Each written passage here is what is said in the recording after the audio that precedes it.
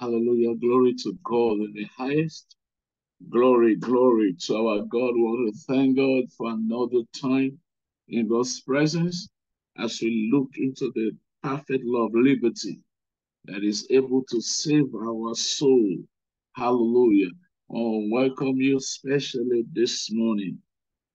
Thank you for joining us on morning showers on Saturday. We give God praise. Shall we pray? Father, in the name of Jesus, we thank you for another time to come before your presence, before your throne to look at your word. We ask that you send your word to us afresh this morning. Have your way, mighty God. I pray, Lord, let the heavens above us be open. Speak to our hearts, speak to our lives, speak to our situations. Let your name be glorified in the name of Jesus. Thank you, mighty God. May this word be to our advantage, to our benefit. Father, we give you praise. And where this word will go to, we ask, God, that the same result, even more, will be accomplished in the lives of the hearers in the mighty name of Jesus. Thank you, Abba Father, for in Jesus' name we pray. Amen. Hallelujah. I want to thank God. Welcome, welcome to Money Showers. And this morning, we're going to be looking at kingdom benefits. We're going to be looking at the benefits of being citizens and parts of the kingdom of God. And our text is taken from the book of Psalm 103, 103, from verse 1. Psalm 103, from verse 1, we're looking at kingdom benefits. Bible says, Bless the Lord, all my soul, and all that is within me. Bless his holy name. Bless the Lord, all my soul, and forget not all his benefits. Hallelujah. Bless the Lord, all my soul, and forget not all his benefits. Hallelujah. In Psalm 89, Psalm 68, verse 19, I'd like to just read Psalm 68, verse 19. The Bible tells us that blessed be the Lord who daily loads us with benefits, the God of our salvation. Blessed be the Lord who daily loads us with benefits, the God of our salvation. Hallelujah. I want us to know that there are benefits that are accruable to us as citizens of the kingdom of God. There are benefits that God has released and has loaded us with for our daily benefits. Hallelujah. For our daily advantage. And the psalmist says here, Bless the Lord, all my soul. Bless the Lord. Bless his holy name. Bless the Lord, all my soul. And forget not all his benefits. Hallelujah. I want to quickly explain what we mean by benefit here. The benefits of the kingdom of God are open to all who have come into the kingdom. Let me repeat this. The benefits of the kingdom of God are open to all who have come into the kingdom of God. Hallelujah. So, as believers, as a child of God, God has prepared for us kingdom benefit. Hallelujah. These are benefits that come to us as a result of our being born into the kingdom of God. These are benefits that are accruable to us having been saved, having given our life to Jesus Christ. So the first qualifications of kingdom benefit is for you to be saved. Colossians chapter 1, verse 13, that we have been translated, that we have been delivered from the kingdom of darkness, and we have been translated into the kingdom of his dear son. For, so the primary condition, the precondition for us to enjoy kingdom benefit is to be born into the kingdom of God, to give our lives to Jesus, to have our life, our names written in the Lamb's book of life as kingdom citizens. Hallelujah. The salvation of our soul is the most important and is the only prerequisite for us to enjoy kingdom benefit. So no matter who you are, young or old, man or woman, I want you to know that as long as you are written, your name is written in the register of heaven, you are open to benefits of the kingdom. And look at what the psalmist says. He said, Bless the Lord, O my soul, and forget not, and forget not all his benefits. You know, he said, and do not forget to enjoy. This is another thing. He said, do not forget to enjoy all kingdom benefit. You know, ironically, you can be in a place or in an employment with benefits, but all you take home is your monthly pay. I want you to know that apart from your monthly pay, there are benefits that are accruable to you as a staff of that company, as a member of that society. So I want us to understand this that kingdom benefits refers to those additional things to our salvation that God has made provision for you and I to enjoy. Hallelujah. It's, a, it's, an, it's an add-on. You know what Jesus said in Matthew 6? He said, Seek ye first the kingdom of God and his righteousness, and all these other things shall be added unto you. These are the benefits we are talking about. These are the things Jesus mentioned. Seek ye first the kingdom of God and his righteousness. Become a member of the kingdom of God. Give your life to Jesus. Let your name be written in the Lamb's book of life, and these other things shall be added. And these other things are what I call the kingdom benefits. Hallelujah. Glory to God. And we're going to be looking at scriptures this morning. And in verse 3, we come across the first benefit of the kingdom of God. Verse 3 of Psalm 103 says, Who forgives all your iniquities. The first benefit of the kingdom of God is divine pardon. Divine pardon. Bible says God has forgiven us all our iniquities as children of the Most High, as citizens of the kingdom of God, the first benefit as we enter into the kingdom is what I call divine pardon. Hallelujah.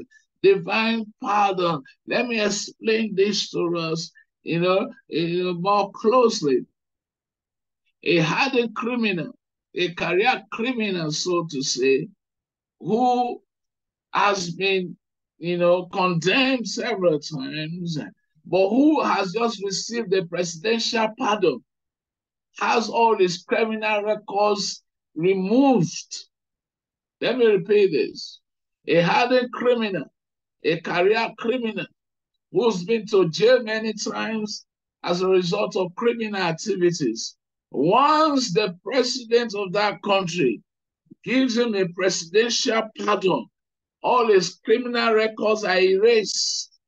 He is as if he never committed a crime because he has received the presidential pardon. How much more? Let's relate it to divine pardon that we enjoy as citizens of the kingdom of God. I want you to know that God has not just forgiven us our iniquities, He has also forgotten about them. The moment we give our life to Christ, the moment we are born again and saved by grace, I want you to know that there is no criminal record against you in heaven. Hallelujah. We have all obtained divine pardon. Glory to God in the highest. We have received divine pardon. Look at verse 12 of Psalm 103. Psalm 12, verse 103. I mean, Psalm 103, verse 12, uh, rather, Psalm 103, verse 12, the Bible says, As far as the east is from the west, so far has he removed our transgression from us. As far as the east is from the west, so far has he removed our transgression from us. This is how far God has gone to grant us divine pardon. As far as the east, glory to God, the east and west never meets. So the day you gave your life to Christ, your past is in oblivion. Your past records have been erased by the blood of Jesus. There is no record of sin against you anymore. No matter how terrible you were in the world, in the past, the Bible says God has forgiven and has removed your iniquity far from us. Hallelujah. Glory to God. Glory to God. When we're talking about iniquities, we, it covers everything. It's talking about our sins. It talks about our wickedness. It covers everything in the past, be it generational or be it individual. Every negative things that we have done, everything that we have given ourselves to, they are classified under iniquity. Anything that falls below the laws and the expectations of God is categorized as iniquities, as transgression, as sins, as wickedness. Hallelujah. Everything, I mean, everything, God has forgiven you. Everything. Hallelujah. We give glory to God in the name of Jesus. Let me read to, to us Jeremiah 31. Jeremiah 31, verse 34. Please follow me closely because this is important for us to appreciate it. The Bible says in, in, in, in Jeremiah 31, let me, let me read from verse 33 because of time. I would have loved to read from verse 31, but let's read from verse 33. It said, But this is the covenant that I will make with the house of Israel after those days, says the Lord that I will put my law in their minds and write it on their hearts, and I will be their God, and they shall be my people. Verse 34 No more shall every man teach his neighbor, and every man his brother, saying, Know the Lord, for they all shall know me, from the least of them to the greatest of them, says the Lord. Look at this last phrase for I will forgive their iniquity and their sins I will remember no more. Is that I will forgive their iniquity and their sin I will remember no more. So this is God speaking here, promising and giving us an assurance of divine pardon. It says, I will forgive your iniquity and I will forget about it. God says, I will cleanse the record of your past, and your record will be as clean as though you never sinned. And that is how God looks at you and I. It is as though we never sinned because He has given us a clean state, a clean stand, a clean beginning. The blood of Jesus has wiped out and erased every iniquity, every transgression, every traditions that were against us, according to Colossians chapter 1, verse 14. Hallelujah. Glory to God. So the first benefit of the kingdom is divine pardon. The psalmist says, there's a song that says, pardon for sin and peace that endures. I like that stanzas in that hymn. We have received pardon for sin, and that guarantees us peace that endures. When you know that your sins have been forgiven, not only forgiven, but also forgotten, it gives us peace that nothing else can buy. Peace that endures. Hallelujah. Let's go a little further as we take a look at Jeremiah chapter 50. Jeremiah chapter 50. Jeremiah chapter 50, verse 20. Please take note of these scriptures so that you can read them by yourself. Verse 20. He said, In those days, Jeremiah chapter 50, verse 20. Said, In those days and in that time, says the Lord, the iniquity of Israel shall be sought, but there shall be none. And the sins of Judah, but they shall not be found. For I will pardon those whom I preserve.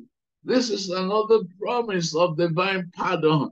God says that the iniquities of Israel shall be sought, but there shall be none, and the sins of Judah, but they shall not be found. For I will pardon those whom I preserve. God is saying is that when the enemy seeks to look at your past, when they try to dig up your the sins that you committed in the past, Bible said they shall not find any. Because the record of sin, your criminal record before God has been wiped out. That's the first benefit we enjoy. Hallelujah. And that's why the scripture says now in Second Corinthians chapter 5, verse 17. Now, if any man be in Christ, is a new creature. The old is gone, the new has come. The old record of sin is been taken away. You have a new state of being. You are the righteousness of God in Christ Jesus. Your past cannot be traced to you anymore because in Christ, your past has been disconnected from you. Glory to God. Hallelujah. It's important for us to understand this because it guarantees us peace before God. Many times when we come before God to pray, to exercise our kingdom rights and responsibilities and privileges, uh, the, the, the thought, the, the remembrance of our iniquities in time past can hinder that sweet flow, that sweet fellowship, that sweet communion that we have with God. Hallelujah. And I want to let you know this. Any thought that reminds you of your past, any thought that reminds you of your the sins you have confessed and for which God has forgiven you, any of such voices is not from God, is from the pit of hell. When a voice and a thought keeps reminding you of the sins you committed yesterday, last night, or last month, or last week, or last year, I want you to know that it is from the of hell and it is directed to stop your fellowship from God with God. Jesus said, the Bible says, God says, I will remember no more. Glory to God. The greatest hindrance to our, our authentic walk with God is to keep remembering our past. God says He's taking it away from us. There is no relationship between you and your past. Hallelujah. Because you have been wiped clean by the blood of Jesus. Oh, glory to God. Hallelujah. It says, Your iniquity shall be sought, but there shall be none. The sins of Judah, but they shall not be found, because we have received divine pardon, pardon for sin and peace that endures. Hallelujah. Glory to God. I heard a story, I read a story some years ago about a young girl who who who who claimed that Jesus visited her. And this was taught to the priest where she was worshiping. And the priest said, trying to confirm if her narrative was true.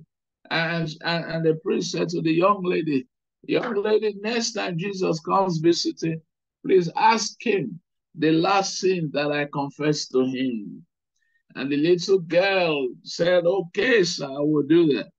And true, Jesus came visiting one evening, and after fellowship, after Jesus had discussed with her and he was about to go, The young lady said, Lord, please don't go. I have one question.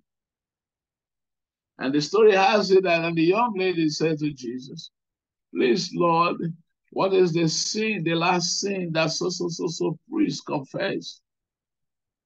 And about the story has it that Jesus paused and thought for some time and began to think for some time. And you know what she said to the lady? Jesus said, I cannot remember. I cannot remember. True to his nature, true to his word. He said he couldn't remember the last sin that the priest confessed, and that is God's word. For me, that confirmed that it was Jesus who visited that lady because it is consistent with the word of God. It is consistent with the provision of scripture. What is the provision of scripture? It said, and their sins I will remember no more. Jeremiah 31, verse 34. It said, I will remember their sins no more. I could imagine that Jesus made contact to the database of heaven and typed in the name of the priest, Kingsley Umfumatobi. And the record that came was that there is no record of sin against him. Hallelujah. There's no record of sin against him. And Jesus said, I can't remember. I can't remember because it is not in heaven's database. Child of God, I want you to know this and be free from every lies and accusation of the devil. There is no record of sin against you in heaven. Hallelujah. There is no record of your past in heaven. God is not piling up your sin to use against you. As we fall into sin, as we as we confess before God, the blood of Jesus cleanses us and makes us clean. Glory to God. I, would like to read First John just to round up this morning. And for me, this is one of the greatest benefits of the kingdom of heaven. First John chapter 1, I'll read from verse 7 to 9. Hallelujah. Look at what it says from verse 7. Say, but, but if we walk in the light as he is in the light, we have fellowship with one another. And the blood of Jesus Christ, his son, cleanses us from all sin. If we say we have no sin, verse 8, we deceive, uh, we deceive ourselves and the truth is not in us. Verse 9, but if we confess our sins, he is faithful and just to forgive us our sins and to cleanse us from all unrighteousness. Hallelujah. This is provision of scripture. The Bible says if we confess, number one, we acknowledge our sins and if we confess our sins, the Bible says God is super faithful and just. It is, is in his faithfulness that he grants us divine pardon. Why? Because the penalty for our sin has been paid by another, Jesus the righteous. Glory to God. So he's just, he's not going to demand payment for sin that Jesus has paid. All we need to do is to confess our sin. And what does it say? The Bible says, and he will cleanse us from all unrighteousness. The blood of Jesus is a stronger detergent than any all detergents of this world combined. There is no record of sin against you in the kingdom of God. We have obtained divine pardon and peace that endures. This is the gospel truth. But you see, a lot of people are scared to preach this because I understand Many people may take it as a license to continue in sin. The Bible says, Shall we continue in sin and expect grace to abound? Romans chapter 6, Paul says, God forbid. Our nature is the nature of righteousness. We cannot continue in sin, taking grace for granted. That woman that was caught in the very act of adultery, Jesus said, Neither do I condemn you, but with a provision, go and sin no more. That's the balance. No believer continues in deliberate acts of sin. It is not consistent with our nature. When a Christian feels comfortable in the life of sin, I want to put a question mark on his salvation experience. Let me say this when a Christian man or a Christian woman continues and enjoys a life of sin, I put a question mark on his Christian experience. Because our nature is a nature of righteousness, but peradventure we fall.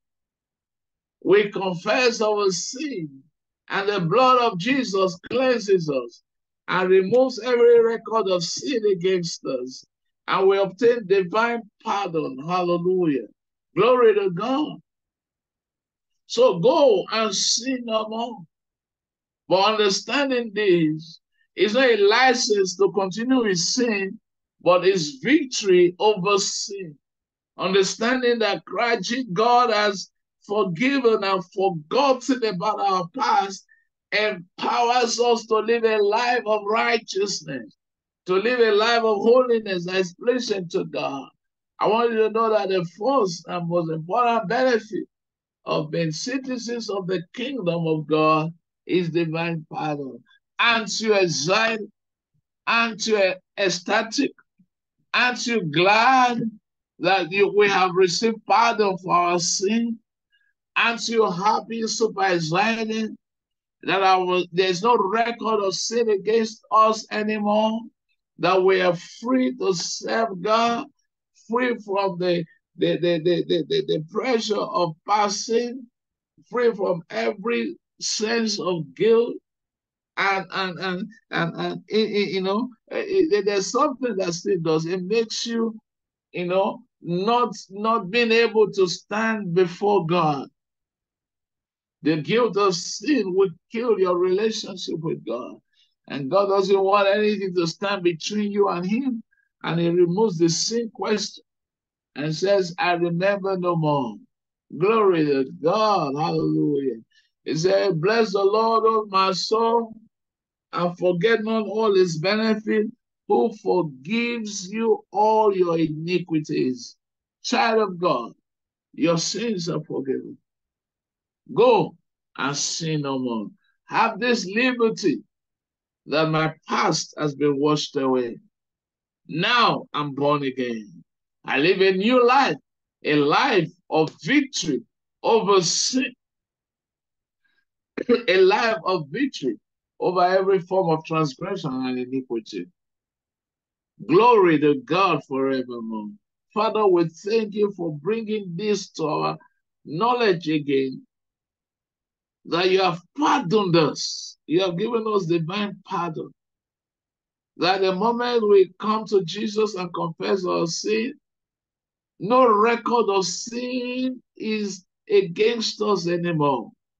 We are brand new creatures born again, empowered to live above sin.